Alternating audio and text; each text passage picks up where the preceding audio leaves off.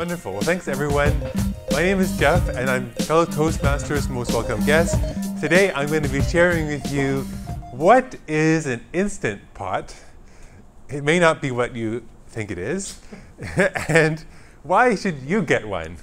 Or, yeah, hopefully convince you to get one. So, yes, here it is, the instant pot.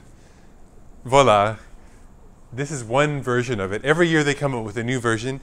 There's a inventor, used to be an engineer at Nortel, and he obviously uh, laid off because Nortel shut down. He invented this thing called the Instant Pot. Now, what is the Instant Pot? This is what's called a programmable electronic pressure cooker. So if you've ever used a stove-top pressure cooker, or if you had a family member who used it, it's very dangerous. The stove-top pressure cooker can build up pressure inside and it can explode. The advantage of a pressure cooker is that you can cook food a lot faster. You can, instead of spending many hours, like two or three hours to make a rich stew, you can set your pressure cooker for about five, ten minutes and you can make a rich stew in really a short amount of time. So it cuts the amount of time you need to cook by about 70%. Another great thing I found with pressure cooker is that Instant Pot has great safety features. It has many safety features, which I'll touch on later, designed by this Nortel engineer. So you can set it and forget it. As long as you don't just throw it off your counter and it bounces on the floor, as long as it stays on your counter, it should be fairly safe. Even one time when I burnt my food in it, it shut off automatically. And that happens very rarely.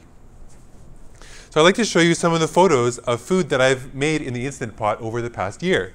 Now this one is just a regular pasta with shrimp, and I actually cooked the shrimp and the pasta all together in the Instant Pot. It was delicious.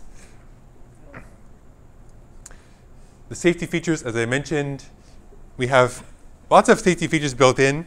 It will shut off at the high temperature warning, automatic pressure control, the release valve at the top. This is a very advanced piece of technology.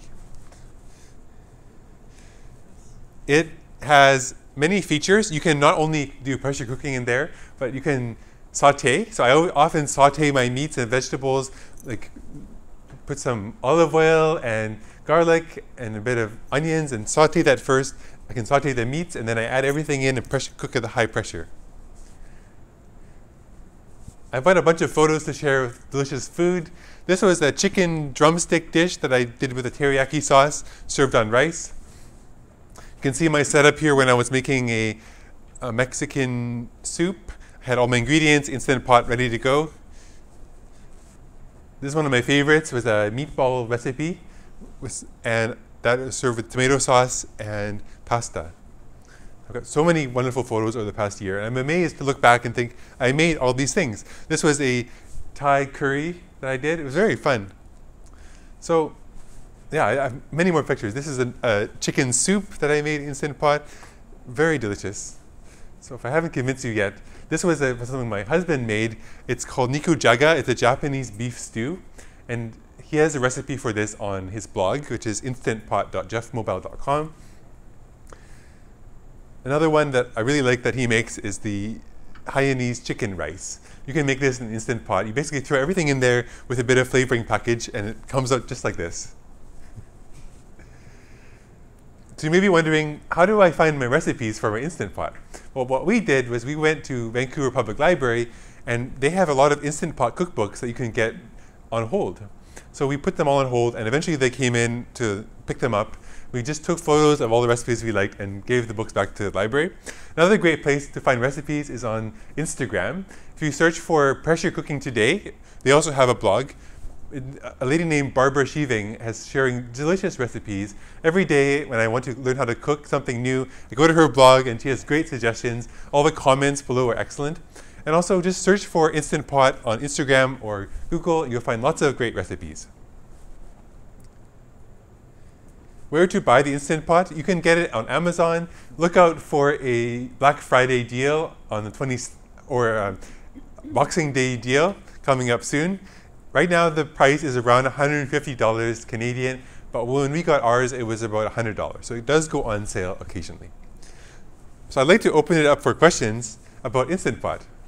Anyone interested in, had their interest piqued into this technology?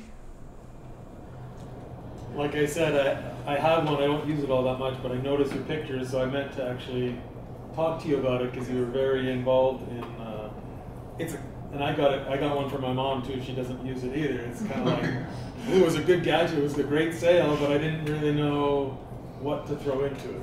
Yes, yeah. So we covered a lot of that already Definitely. as far as looking Yeah. for recipes. Because traditional pressure cooking is kind of used for potatoes, pretty much. Yeah. That's what farmers would use pressure cookers for, do a whole bunch of potatoes in a short period of time.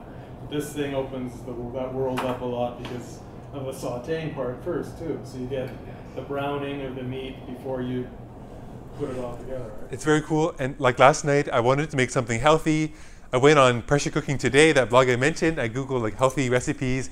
And she had one where you, first of all, take two heads of cauliflower and just remove the stems, throw it in there with a bit of uh, chicken broth, and you cook it for seven minutes on pressure.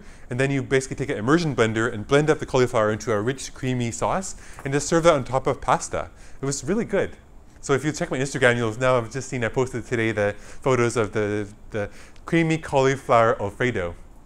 I find to give myself a goal of cooking once a week, I'll go up the day before and find a delicious blog with a good photo, and I'll try to spend an hour making the recipe, and definitely has opened my culinary vocabulary a lot.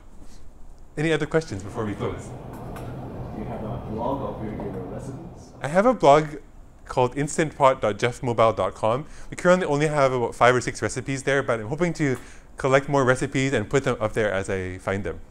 Yes.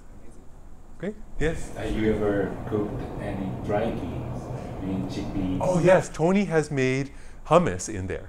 So you can put right from the dry beans or dry chickpeas, put it in there, and it takes way less time. Like it probably can get a fresh hummus in about an hour, whereas before it would take many hours. Yeah, definitely. All right. Thank you, everyone. Appreciate it.